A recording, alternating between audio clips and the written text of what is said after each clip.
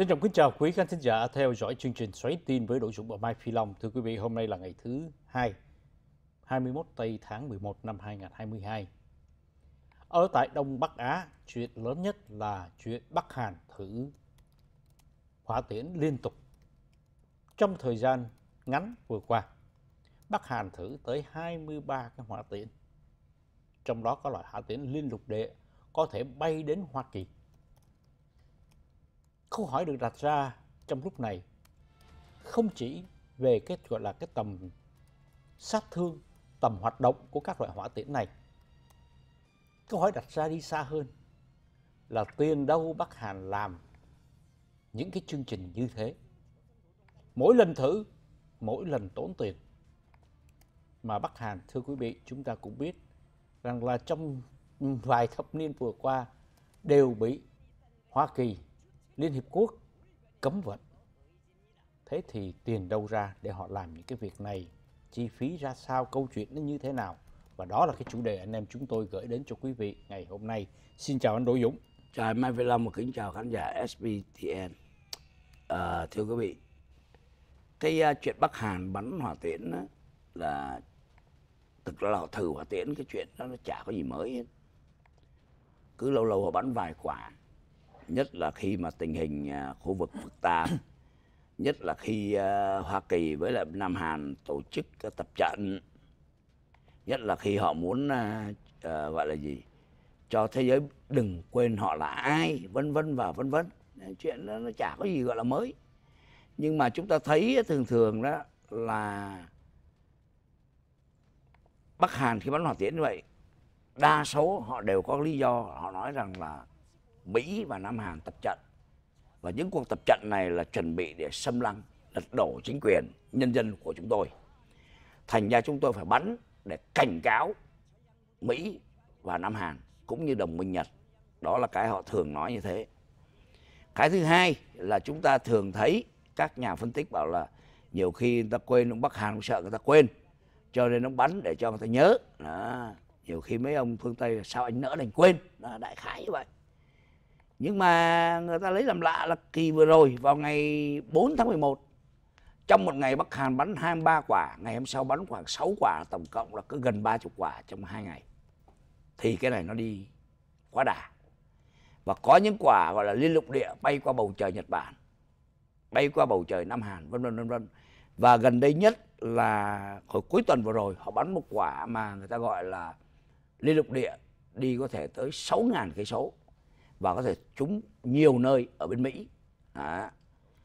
thì ngay sau khi mà bắn cái này thì bà Kamala Harris là phó tổng thống của Mỹ đang có mặt ở tại Thái Lan dự hội nghị thượng đỉnh APEC thì bà đã họp khẩn với lại năm nước đồng minh của Mỹ đó là Nam Hàn, Nhật, Úc, Canada và New Zealand để phản đối cái chuyện này.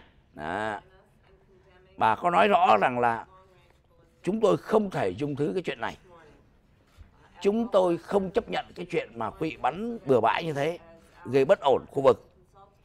Và trước đó, vào ngày 15 tháng 11 khi mà ông Biden, tổng thống hiệp Trung Quốc Hoa Kỳ, gặp ông Tập Cận Bình, tổng bí thư Đảng Cộng sản Trung Quốc và chủ tịch Cộng hòa Nhân dân Trung Quốc, ngoài vấn đề Đài Loan, vấn đề Biển Đông, ông cũng nêu vấn đề Bắc Hàn ông nói ông Trung Quốc là anh phải có trách nhiệm là kềm chế cái Bắc Hàn này lại đó, vân vân vân vân. Thế cái chuyện đó, chuyện ta nghe hoài mà nó vẫn cứ bây giờ người ta đi tới cái chỗ là tiền đâu ra. Đó, tiền đâu ra mà Bắc Hàn có để bắn như vậy. Thì thực sự mà nói, thưa quý vị, sẽ không bao giờ chúng ta biết được con số chính xác. Bởi vì Bắc Hàn là họ khép kín, họ không công bố những cái này. Phần lớn là do các cái viện nghiên cứu họ dựa trên những cái tài liệu tình báo dựa trên những cái chi phí của các nước khác vân vân và vân vân họ có thể phỏng đoán ước tính thôi. Là bao nhiêu chứ còn không bao giờ biết bao nhiêu. Nhưng có một điều chúng ta biết chắc chắn là số tiền này không nhỏ. Mà như anh Long nói đó Bắc Hàn nghèo khổ như thế ờ, tại sao mà mà mà mà mà tiền đâu ra mà có thể bắn được nhiều như vậy? Thì bên Nam Hàn đó họ ước tính đó là thưa quý vị một lần bắn như vậy đó, tốn cũng phải cỡ cái là từ 3 triệu cho tới 10 triệu và riêng cái ngày 4 tháng 11 đó, mà họ bắn 23 quả như vậy đó, là Nam Hàn họ tính là phải cỡ sấp xỉ từ 60 triệu cho đến 75 triệu. Số tiền này tương đương với số tiền mà Bắc Hàn nhập cảng lúa gạo của Trung Quốc năm 2021. Nói cách khác là gì? Nếu không bắn 23 quả hạt tiễn này chúng tôi mua nhập cậu nhập cảng đủ gạo cho một năm để ăn. Đó. Chứ tại sao họ vẫn làm? À. Thì nó có những giải thiết đưa ra sau đây.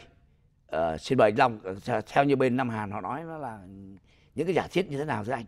À, chúng tôi muốn đi uh, sâu thứ nhất vào cái chuyện uh, cái số tiền cho quý vị thấy rõ ràng. Cứ một đợt phóng như thế tốn của họ khoảng từ 50 triệu cho đến 75 triệu. Thưa anh Dũng, thống 23 đợt, bây giờ nhân số tiền nó lên cả tỷ bạc, trong khi một đất nước nghèo đói. Thì chúng ta cũng biết cái nền kinh tế của Bắc Hàn trong thời gian vừa qua bị dịch Covid-19 làm kiệt quệ khá nhiều và đưa đến cái tình trạng mà thiếu lương thực ở tại đây. Thậm chí có một khoảng thời gian quý vị nếu chúng ta chú ý khoảng chừng năm 2020 hay 2021 người ta sợ rằng Bắc Hàn có một cái gọi là một cái cái cái nạn đói toàn diện. Thứ nhất họ vừa bị Covid-19 thứ hai và tình trạng gọi là thời tiết thiên tai, thiên tai về thời tiết thì làm cho Bắc Hàn phải nói rằng là rất là điêu đứng. Nhưng mà đến giờ phút này năm 2022 một cái thời điểm chỉ sau cái đại dịch xảy ra mới có 2 năm. Làm sao Bắc Hàn có cái số tiền để mà phục hồi những các, gọi là, cái vụ phóng hỏa tiễn mà càng lúc càng nhiều như trong thời điểm này. Và trong cái sự việc này thì chúng ta thấy để phóng những cái hỏa tiễn như thế, Bắc Hàn không phải là chế tạo được những cái loại, gọi là, những cái con chip đặc biệt để mà điều khiển cái quỹ đạo của cái hỏa tiễn. Họ phải mua ở một cái chỗ nào đó. Nếu thế thì cái nguồn tiền nào cung cấp cho Bắc Hàn để mua được những các nguyên vật liệu và luôn cả những các con chip thông minh để bắn các hỏa tiễn này. Họ không tự chế tạo được. Thì những câu hỏi được đặt ra là hiện tại bây giờ Liên Hiệp Quốc cấm vận Bắc Hàn rất là nghiêm ngặt. Những gì cho vào Bắc Hàn chỉ mang mục đích y khoa và mang mục đích nhân đạo mà thôi. Thế thì khoản tiền nào để giúp Bắc Hàn mua được những cái uh, món để có thể chế tạo ra vũ khí? Câu chuyện nó không đơn giản như chúng ta nghĩ thì câu hỏi đang được đặt ra là số tiền đó đến từ đâu? Thưa anh. Vâng thứ nhất đó là chúng ta có thể hiểu rằng là Bắc Hàn có thể là tự tự chế những cái này. Thay vì là phải nghĩa là mua của nước khác hoặc là mua kỹ thuật nước khác. Và nếu Bắc Hàn tự chế thì thưa quý vị biết cái giá lao động phải nói là rất là rẻ. Rất là rẻ. Nếu không muốn nói là miễn phí luôn. À, có thể nói là miễn phí luôn. Đó.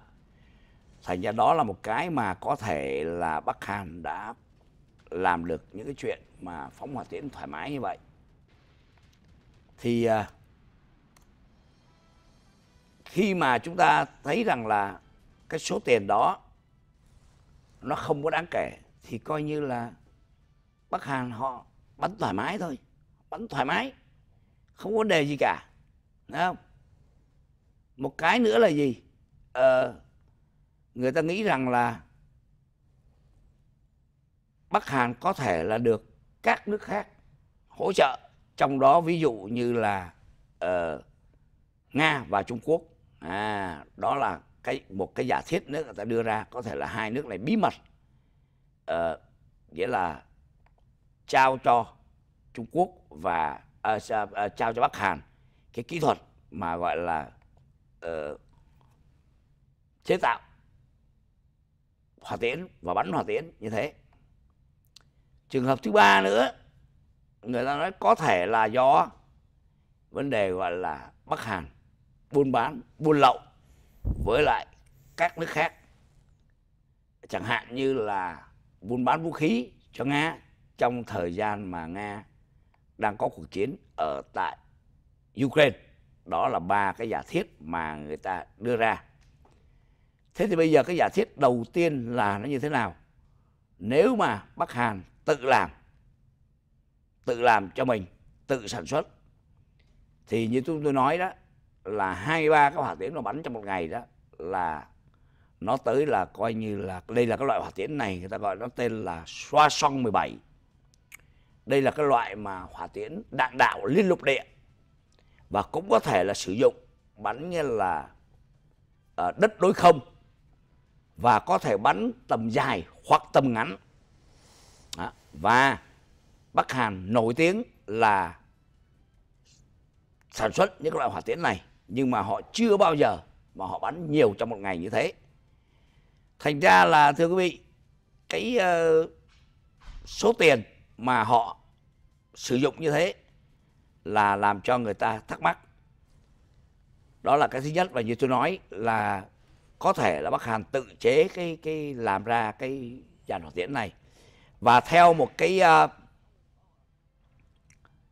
viện nghiên cứu về quốc phòng của Nam Hàn cho biết nếu mà tính số tiền á mà cái chương trình mà nguyên tử và hỏa tiễn của Bắc Hàn tính từ thập niên 70 tới giờ đó là nếu mà họ không có làm bằng cái sức của họ đó thì họ phải chi ra khoảng là 1.6 tỷ đô la. 1.6 tỷ đô la. Thì đây là cái con số tiền mà nếu mà các nước khác làm. Còn Bắc Hàn mà nếu, nếu mà họ làm theo đúng như cái giả thiết mà các chuyên gia họ đưa ra đó là họ tự lực cánh sinh đó thì con số này có thể là nó rất ít hoặc gần như là zero. Nhưng nói zero thì không đúng, tại vì họ có thể vẫn phải mua một số cái phụ tùng này kia. Nhưng mà cái lao động, cái công đó mà họ làm ra đó, họ chế tạo ra đó, thì cái đó nó có thể rất là rẻ. Nhưng mà người ta tính cái giá thị trường đó là 1.6 tỷ đô la 1.6 tỷ đô la từ thập niên 70 tới giờ. Mà đối với Bắc Hàm một nước nghèo một tỷ 6 đô la là nhiều lắm. Đó. Rồi bây giờ khi mà họ làm xong đó, họ phóng lên thì cái vấn đề phóng này cũng là cái cái một cái không phải là đơn giản. Thì cái Rand Corporation là một cái trung cái một viện nghiên cứu nổi tiếng của Mỹ. Thì họ mới cho rằng là gì? Khi mà ờ, ở uh, Bắc Hàn mà phóng những cái này lên đó thì coi như là có thể là họ đã có những cái kỹ thuật những cái chuyên gia ở nước ngoài giúp cho họ. Chẳng hạn như là Nga và Trung Quốc như tôi nói hồi nãy, họ chỉ cho ở Bắc Hàn làm những chuyện này. Và chúng ta nhớ rằng là cái phụ tùng là những cái mà Bắc Hàn cần phải có. Ví dụ Bắc Hàn có thể chế được một số cái, có thể chế không được một số cái, thì coi như họ phải đi mua. Mà mua thì ai bán? Thì người ta nghĩ là chỉ ông Trung Quốc với lại ông Nga bán thôi. Và nó có một cái điểm nữa là họ nói rằng có thể những cái hệ thống vũ khí này được Trung Quốc và Nga hỗ trợ cho Bắc Hàn từ cái thời chiến tranh lạnh. Rồi họ cải tiến, họ cải tiến để mà họ có thể họ sử dụng. Một cái điểm nữa là tại sao họ có những cái tiền nhiều như thế này thì chúng ta biết rằng là gì? Cái chương trình hỏa tiễn, đặc biệt chương trình nguyên tử của Bắc Hàn, nó trở thành một cái vấn đề gọi là ưu tiên số 1 từ cái thời mà ông nội của Kim Jong Un tới ông bố Kim Jong Un, tới ông Kim Jong Un bởi họ biết rằng là chỉ có những đồ chơi này thì họ mới bảo vệ được đất nước của họ và bảo vệ được chế độ của họ.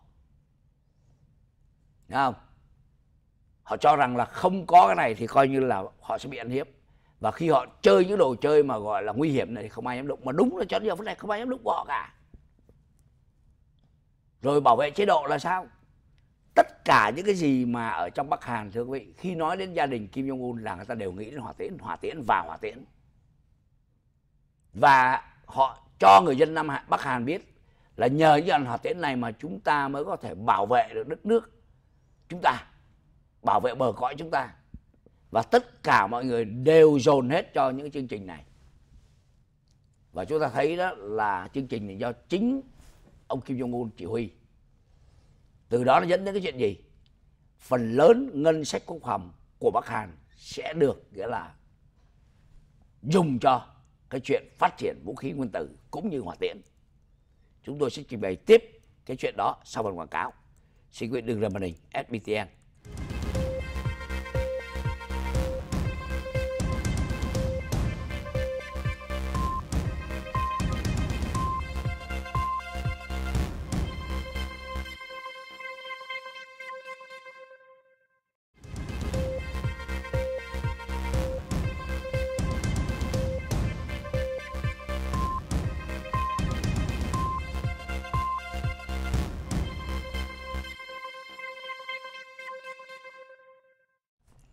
cảm ơn quý khán giả vẫn tiếp tục giữ bằng tầng SPTN. À, từ nãy giờ chúng ta nói về cái vấn đề Bắc Hàn chế tạo vũ khí. Những cái hỏa tiễn mà Bắc Hàn đang gọi là thử nghiệm liên tục trong thời gian vừa qua. Chuyện về mặt quân sự, cái cái tầm sát thương chúng ta không bàn. Vấn đề chúng ta đang nói về cái việc rằng là tiền đâu để Bắc Hàn xây dựng cái hệ thống này. Có một số à, vũ khí Ờ, hỏa tiễn mà Bắc Hàn có thể là cải tiến từ những cái đồ chơi cũ của khối Xô Viết cung cấp Nga và Trung Quốc cung cấp nhưng mà trong khi mà leo lên một cái bậc thang mới như các loại hỏa tiễn liên lục địa mà bây giờ theo cái bên phía ở Bộ Quốc phòng Nam Hàn và Nhật Bản cho biết rằng những cái hỏa tiễn mà Bắc Hàn vừa mới uh, thử nó có thể là bao phủ toàn cõi Hoa Kỳ. Cái vấn đề được đặt ra là để làm các loại vũ khí này công suất lớn hơn, mạnh hơn thì phải mắc hơn. Và để cho nó bay mà đạt được cái hiệu quả thì đòi hỏi cái độ chính xác, độ chính xác lại đòi hỏi thêm những cái khía cạnh khác. Từ cái con chip điện tử gắn vào để mà đáp ứng theo cái tọa độ GPS mà để vệ tinh có thể xác nhận. Thì đây là những cái sự việc mà người ta ngạc nhiên. Tại sao Bắc Hàn làm được cái những các cái hỏa tiễn với cái số tiền từ đâu ra người ta cũng chưa biết. Một quốc gia đang nghèo đói. Thì trong thời gian vừa qua cũng có những cái lý do mà người ta nghĩ là những cái nguồn tiền mà Bắc Hàn có được thì người ta thấy rằng là trong đó có một cái loại tiền. Đó là cái tiền uh, bắt chẹt người khác cái tiền mà các gọi là tin tặc của Bắc Hàn tấn công vào các công ty trên toàn thế giới chiếm hữu các uh, trang mạng hay là cái hệ thống điều khiển của các công ty rồi đòi họ một số tiền chuộc để Bắc Hàn lấy. Rồi bây giờ một trong những cái điều mà người ta cũng nghi ngờ là Bắc Hàn đi ăn cắp các loại tiền điện tử. Chúng ta thấy tiền điện tử trong thời gian vừa qua được sử dụng rất nhiều trong những cái thế giới mà không có muốn công khai cái hoạt động tài chính của họ. Giống như cái thế giới buôn bán ma túy buôn bán cần sa thì họ trả nhau bằng cái tiền điện tử. Thì Bắc Hàn cũng có uh, sử dụng cái đội tin tặc để đánh cắp những cái số tiền này. Thì đây là chỉ là những cái nghi vấn mà cái nguồn tiền Bắc Hàn có. Nhưng mà một cái nghi vấn khác nữa rằng là bây giờ có tiền nhưng mà những cái loại uh, vật liệu Bắc Hàn mua được hiện tại đang bị cấm vận hoàn toàn. Thế thì tại sao nó vẫn tồn được vào Bắc Hàn? Thì đây là những câu hỏi đặt ra liên tục. Và liệu rằng có câu trả lời hay không? Thì điều đó là người ta vẫn còn phải đang tìm kiếm thưa anh. Vâng như nãy tôi nói đó cái uh, chương trình uh, Võ tiễn và chương trình vũ khí nguyên tử Bắc Hàn được coi là chương trình ưu tiên số 1 để mà bảo vệ Bắc Hàn và bảo vệ chế độ thành ra phần lớn ngân sách của Bắc Hàn sẽ được dùng vào cái chuyện này à, như chúng tôi nói hồi nãy 75 triệu một ngày bắn 23 quả hỏa tiễn theo ước tính của Nam Hàn và các nước trên thế giới thì có thể đủ nhập cảng số lượng gạo từ Trung Quốc của Bắc Hàn một năm. Điều đó cho thấy là đối với Bắc Hàn uh, có thể chết đói vài ba trăm ngàn người, vài chục ngàn người, chuyện nhỏ. Nhưng mà để phát triển hỏa tiễn thì chuyện đó mới quan trọng. ở nay mai đất nước Nam Hạ, Bắc Hàn mà mấy người đó có chết thì tới ngày mà thương binh liệt sĩ đó là họ tưởng niệm tưởng niệm mấy người đó coi như là có hy sinh cho đại cuộc anh hiểu không đó là cái suy nghĩ của họ tất cả cho hỏa tiễn thành ra một số lượng lớn ngân sách của Bắc Hàn sẽ được dùng cho hỏa tiễn. Đó là cái điều chúng ta có thể hiểu chắc chắn. Và tại sao họ có những tiền này? Những lòng nói họ buôn lậu này kia các thứ bắt chẹt ăn cắp tiền. Và nó có một cái nguồn nữa là gần đây mặc dù Bắc Hàn bắt bỏ nhưng các nước phương Tây đặc biệt Hoa Kỳ đều tố cáo là Bắc Hàn bán vũ khí đặc biệt là đầu đạn cho Nga. Nga đánh nhau với Ukraine là cũng 10, gần 10 tháng nay rồi cũng cạn súng thì còn mà đạn thì hết. Gọi là, thực ra gọi là hết đạn đó. Súng còn mà hết đạn là vậy đó bởi đạn bắn ờ, nó mau tiêu súng nó vẫn còn ở đó đúng không? Thì phải mua đầu đạn Bắc Hàn. Và rồi Bắc Hàn này đó là anh coi như là chuyên môn nổi tiếng là anh tránh những cái gọi là cấm vận của quốc tế. Bởi vì cấm vận quốc tế tôi, tôi nói quý vị nhiều lần không ăn thua. Là bởi vì sao? Bắc Hàn vẫn có những cái đội tàu chở vũ khí hoặc là chở những cái gì đó cho những nước khác chúng ta nhớ cách đây mấy tháng có một lần một cái vụ có tàu Việt Nam chở dầu lậu ở trong vịnh uh, Ba Tư cho Bắc Hàn bị bắt nhớ không? Yeah. Dạ. Nhưng mà rồi Mỹ làm lơ cái chuyện đó. Ông ông Bắc Hàn vẫn có dầu chở vô và ông Bắc Hàn vẫn chở các thứ nước khác. Hồi trước Bắc Hàn còn chở cả là những cái loại vũ khí đặc biệt này kia là các thứ mà thời Việt Nam bị cấm vận này họ chở vô cho cả Việt Nam nữa cơ câu hỏi quý vị đặt ra là, ủa, tại sao mà có thể chở lậu được? Cái tàu lớn cả mấy chục ngàn tấn này sao đi lậu được? Dễ lắm quý vị ơi. Biết sao không? Em yêu tôi tắt cái gps đi. Quý vị nhớ luật hàng hải đó. Quý vị đi đâu ở trên biển đó, quý vị mở cái gps lên. Để người ta biết định vị mình đang ở đâu, để khi mình có chuyện gì, tàu chìm hay gió bão, mình đánh tín hiệu sos là ta biết là đâu đến cứu, đúng không? Thì tôi tắt nó đi. Thì làm sao biết được ở đâu? Có đúng nào? Thành ra tôi chở đi chả biết đấy. Tôi cho quý vị cái ví dụ luôn. Ví dụ tôi đi đâu nè vợ tôi là thủ tướng nhà nè đặt cái máy là theo dõi trong phone của tôi. Đi đâu biết hết. Bữa nào mà đi lạc ra ngoài Ê, anh đi đâu vậy? À hỏi liền. Mà hôm nào tôi muốn đi đâu riêng tôi tắt đi sao vợ biết được? Ờ, vợ tôi ra bảo ủa sao cái máy mày tắt rồi anh đi đâu ủa bấm lộn bấm lộn. Đại khái như thế. Còn bác quên bác không nhìn là thôi tôi đi vô tư đúng không? Đó đại khái như thế thì đó là cách mà bắc hàn có thể chuyển giao vũ khí cho nga. Và từ đó nga trả lại tiền hoặc là trả lại bằng những cái vật nguyên vật liệu làm hỏa tiễn. Tôi về tôi cũng về không đâu. Tôi đi tàu tôi, tôi chở thứ khác về. Đó cũng là một cái chuyện có thể xảy ra. Nhưng mà bây giờ cái chuyện quan trọng hơn là khi mà bắc hàn bắn như vậy đó nhiều như vậy mình nói tới chi phí là bây giờ họ đạt được cái gì lòng? Mục tiêu họ đạt được cái gì? Ngoài những chuyện hồi nãy tôi nói muốn cho thế giới đừng quên tôi muốn cái là cái là dành mặt ông Mỹ với lại ông ông ông Nam Hàn. Bởi vì quý vị nhớ đó là vừa rồi đó sau cái chuyến đi của bà Nancy Pelosi đến Đài Loan đúng không? Hồi tháng 8 thì độ cái tầm tháng 9 tháng 10 đó là bắt đầu cái anh mà hàng không có hạng Ronald Reagan đó, bắt đầu anh áp sát Đài Loan để canh ông Trung Quốc đừng đánh úp Đài Loan. Sau được lệnh rút ra rút ra thì sao? Anh lên Nam Hàn đó, tập trận với Nam Hàn có đúng không? Ừ. thì Nam Hàn nói là tôi bắn cái này để cảnh cáo mà nhưng mà ngoài ra họ có mục tiêu gì khác trong đây thưa anh? Bên phía Bắc Hàn thưa quý vị à, trong cái loạt hỏa tiễn đợt hỏa tiễn mà bắn vừa qua thì có một cái loại hỏa tiễn mà đạn đạo Nam Hàn bắn nhưng mà nó coi như là một cái vụ bắn thất bại. Là khi cái hỏa tiễn bắn đi thì chúng ta biết đầu đạn nằm phía trên. Ở phần dưới là những cái buồng chứa nhiên liệu thì hết cái tầng cái buồng nhiên liệu này nó, nó đốt hết nhiên liệu nó xong thì tới cái buồng kế để tiếp tục nó đẩy cái hỏa tiễn đi tới trước. Khi có những cái hỏa tiễn Nam Hàn bắn đi là khi trong cái giai đoạn mà những cái buồng nhiên liệu nó cháy hết rồi nó rớt xuống thì nó lại rớt luôn cả hỏa tiễn. À thì bắc hạ các phân tích gia của Nam Hàn nói rằng là những cái đợt bắn hỏa tiễn vừa qua cũng là phải nói rằng là đợt thử nghiệm của Bắc Hàn. Họ nhìn vào cái cái cái chuyện bắn cái cái uh,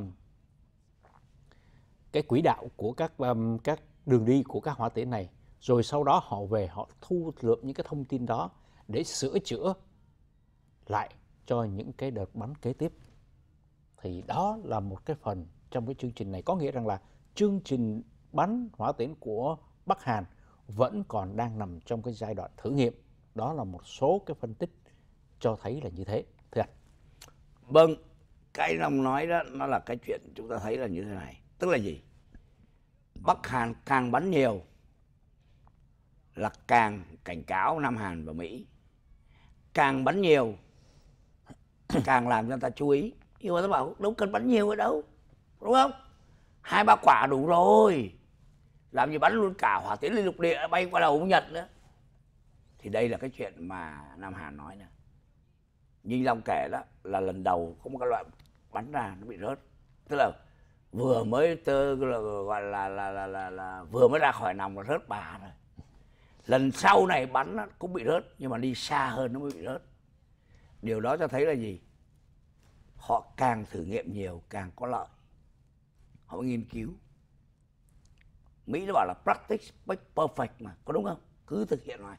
Thì chính nhờ bắn như này nhiều như thế, mức độ cao như thế, vừa để cảnh cáo vừa để chúng tôi nghiên cứu luôn.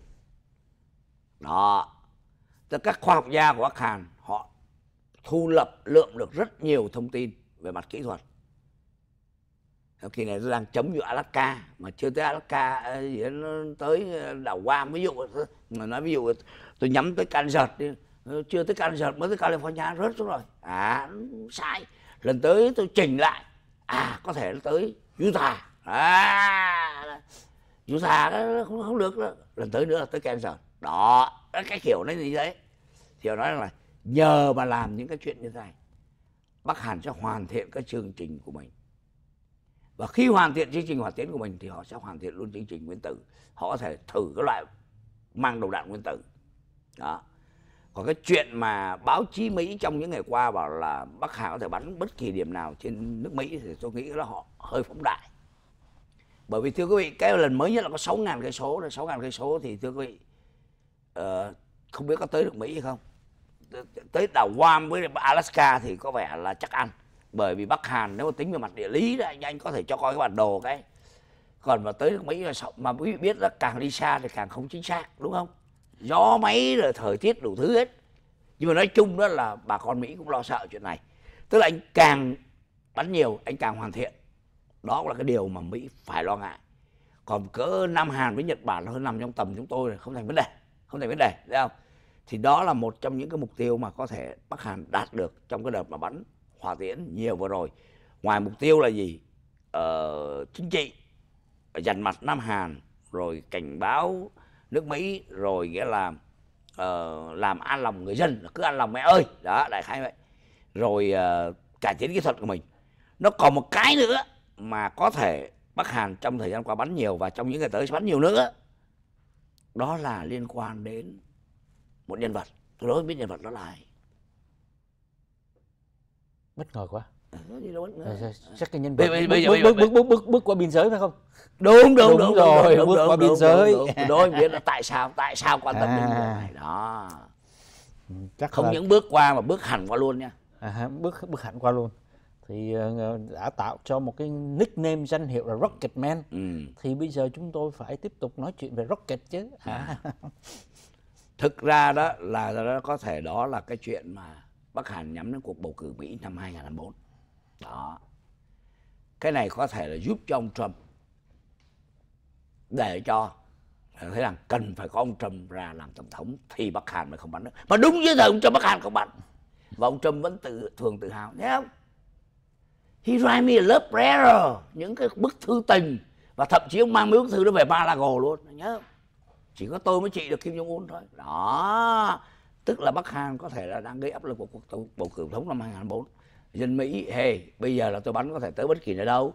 Quý vị khôn hồn đưa ông Donald Trump lên trở lại. Còn nếu không những khác là coi chừng. Đó đó cũng thể là cái thông điệp Bắc Hàn muốn gửi. Cảm ơn quý vị rất nhiều. Theo dõi chương trình Xoáy tin ngày hôm nay mai Long nội dung chúc quý vị gia đình một ngày vui khỏe. Chúng tôi hẹn gặp lại quý vị trong chương trình SBTN Morning sáng ngày mai thứ ba 22 tây tháng 11 năm 2022